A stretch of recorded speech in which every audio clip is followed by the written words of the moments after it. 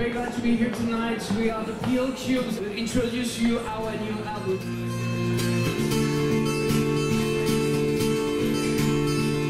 Just come